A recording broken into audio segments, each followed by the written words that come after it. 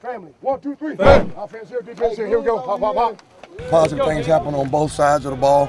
I thought we had a good special teams period before then and a uh, preliminary pregame um, routine uh, from Coach Connors to individual. Uh, I thought special teams went well with Coach Doll. Got some things done there. Uh, we had some good things happen on both sides of the ball. I saw defense come back after a tough play. We had some penalties that we got to correct, which we haven't had really all spring. Uh, when it was a second and short and uh, down there in the red zone where we, we had a uh, over snap. But that was the first one Taylor's had all spring. I mean all fall camp. So we can fix that. But I was pleased with the guys and uh, got out pretty healthy, I think. It was good. It was good. It was a good scrimmage. Uh, saw a lot of improvement, you know, from scrimmage one to scrimmage two. Um, thought the guys did a better job handling the stadium, you know, handling situations, uh, you know, personnel, all those things. So uh, starting to work some of the guys in, you know, that we're really going to be playing with.